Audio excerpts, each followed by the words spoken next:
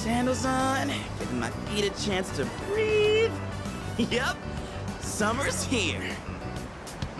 Darn. There's nothing out there I can use as a marker. Too bad. I was hoping for a good swim. Whoa, what's with that swimsuit? What do you mean? Dude, swim briefs? Nobody wants to see your junk.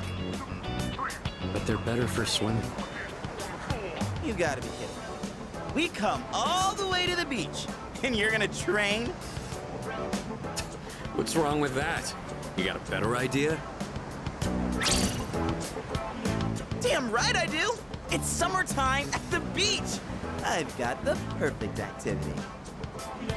Wow, it's beautiful. Oh, hey! They're here!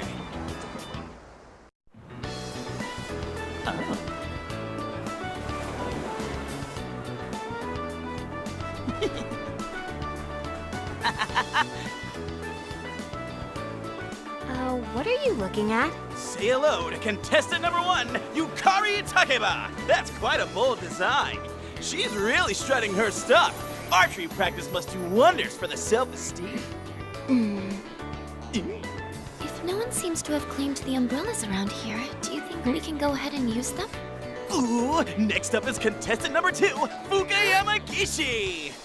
Wow, Fuuka, uh, do you wear swimsuits often, or...? oh, whoops, was it something I said? Didn't mean to embarrass you. Hey, cut it out with that laugh, you creep. and for our final contestant of the day, What happened? Is something wrong?